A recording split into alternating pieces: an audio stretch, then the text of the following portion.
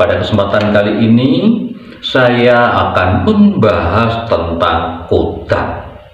Ya, seperti yang sudah kita ketahui bersama bahwa kodam ini adalah makhluk dari alam gaib yang tugasnya adalah membantu dan mendampingi manusia.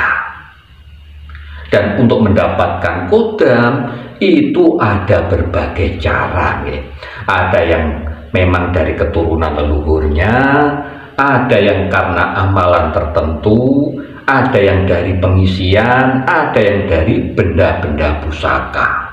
Nah, yang kita bahas kali ini, ini adalah tandanya kalau ada kodam yang hadir di dekat kita. Jadi kalau panjenengan merasakan akan hal-hal yang saya sebutkan ini nanti itu kemungkinan besar itu di dekat panjenengan itu ada kodam yang ingin berinteraksi kepada jenengan. Atau setidak-tidaknya hadir di dekat panjenengan.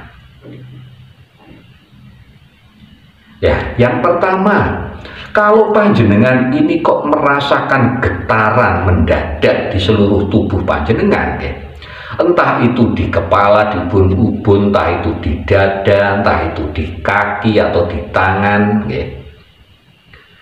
seperti bergetar, ya. itu artinya ada energi kodam yang mendekati panjenengan. Bisa saja kodam ini dari luar panjenengan juga bisa, atau kodam dari orang lain yang ingin berinteraksi dengan panjenengan itu juga bisa. Jadi biasanya lewat sinyal semacam itu. Ya, ada salah satu tubuh panjenengan entah itu kedutan, okay, semacam itu.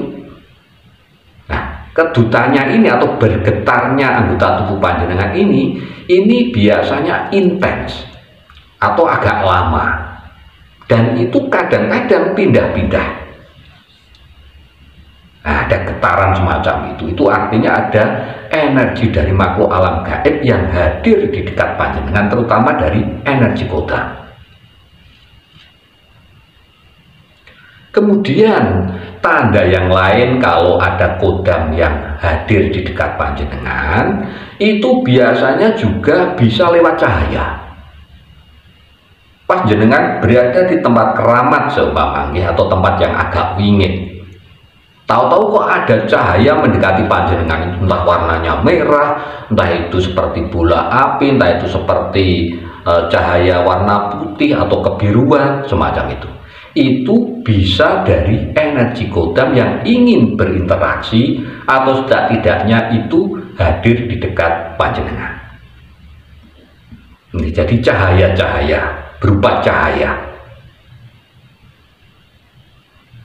Kemudian yang lain yang bisa panjenengan rasakan dan bisa panjenengan lihat itu kadang-kadang juga hadir sosok.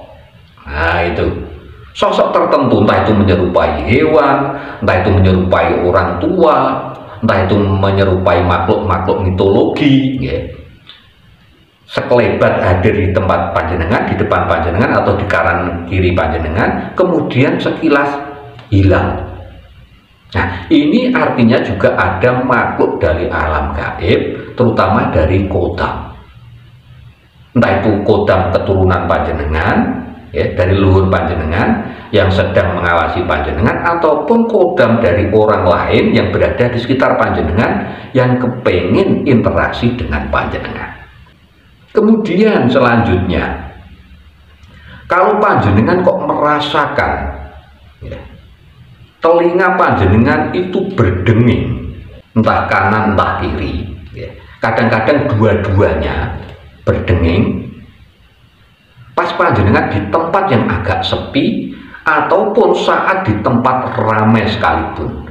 Jadi yang di kiri kanan panjenengan ini ada orang banyak ya dan orang tersebut ada yang nyikodam energinya kuat itu kadang-kadang juga bisa lewat sinyal jenengan berdenging itu tadi telinganya berdengung itu artinya ada kodam yang hadir mendekati panjenengan.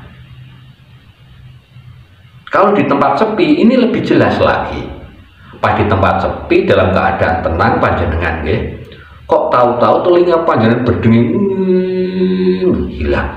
Nanti ada lagi. Hmm, tapi yang bukan penyakit ini gitu. Memang panjenengan waktu itu uh, secara fisik sehat, telinga nggak sehat gitu nggih. Kok berdenging semacam itulah. Ini ada energi kodam yang hadir di dekat panjenengan. Kemudian kalau panjenengan merasakan ini uh, suhu, nggih, suhu di sekitar tubuh panjenengan ini berubah drastis. Saat suhu normal kok tiba-tiba itu berubah panas sekali atau hangat atau dingin secara mendadak dan itu juga berulang. Nah, ini artinya juga ada energi dari makhluk alam gaib, terutama kodam, ini hadir di dekat panjenengan. Jadi lewat sinyal suhu udara tadi yang panjenengan rasakan. Nah, kadang-kadang ini juga tergantung daripada kepekaan setiap pribadi. Ada yang peka, ada yang tidak. Setiap orang itu beda-beda. Nah, kalau kok mencolok banget, artinya energi itu tadi atau suhu udara itu tadi berubahnya mencolok banget, jangan juga harus waspada. Kira-kira ada benturan tidak dengan energi panjenengan? Kalau memang itu membuat diri panjenengan tidak nyaman, panjenengan harus mengaktifkan pagar gaib panjenengan. Supaya apa? Tidak diserang karena apa? Energi kodam itu ada yang sifatnya positif, ada yang negatif. Nah inilah dibutuhkan kepekaan itu tadi. Kemudian tanda yang lain kalau panjenengan merasakan dan bahkan mendengar, ini mendengar suara-suara yang aneh di dekat panjenengan.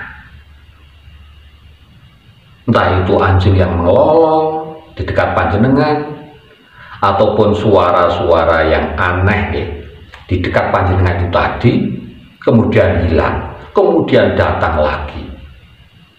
Nah kalau panjenengan teliti setelah ada suara itu tadi kok tidak ada seumpama benda jatuh di dekat panjenengan kok ya tidak ada bendanya?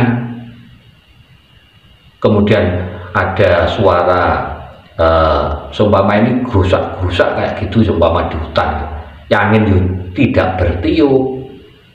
Nah itu artinya ada makhluk alam gaib terutama dari jenis kodam yang kepengen berinteraksi dengan panjenengan atau setidak-tidaknya itu dekat hadir di dekat panjenengan. Atau bisa saja hanya pengen menunjukkan eksistensinya kalau dia itu ada. Nah, itu. Kemudian kalau panjenengan kok merasakan uh, ini atau mencium bau terutama mencium bau yang mendadak ingin menyengat bau. Entah itu anir darah entah itu bau wangi entah wangi kemenyan wangi orang membakar ketela pohon coba ya pohon ya ketela pohon. Atau mungkin saja jenengan kok uh, mencium bau wangi bunga melati atau mawar padahal setelah jenengan teliti di sekitar panjenengan juga tidak ada melati atau mawar ya. nah itu juga bisa sebagai indikasi bahwa energi kodam itu tadi hadir di dekat panjenengan ya, jadi itu ada beberapa tanda yang bisa panjenengan rasakan dan panjenengan alami ketika kodam itu hadir di dekat panjenengan atau bahkan ingin berinteraksi dengan panjenengan. Ya, demikian bahasan kita kali ini. Mudah-mudahan bisa menambah wawasan dan mudah-mudahan bisa bermanfaat untuk kita semuanya. Matur sembah nuwun. Wassalamualaikum warahmatullahi wabarakatuh